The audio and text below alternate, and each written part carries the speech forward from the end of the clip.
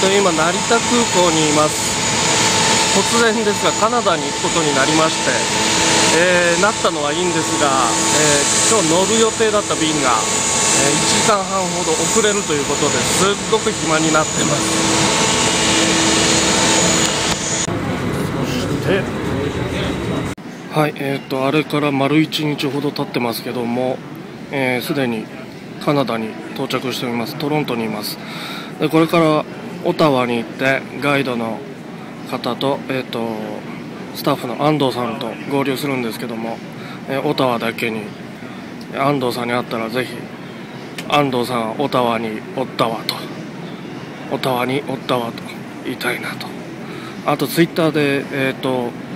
いただいてるひどいダジャレもあって、えー、トロントで目がトロンとしているとかなんかそんな本当ひどいと思いますということで飛行機でオタワに向かいました悔しいです。結果から言えば惨敗ですよ。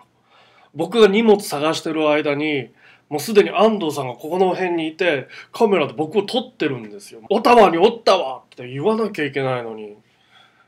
やられちゃいましたよ。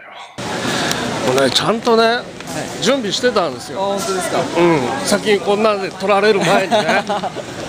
僕はトロントに着いた時にビデオ撮ってて、はい、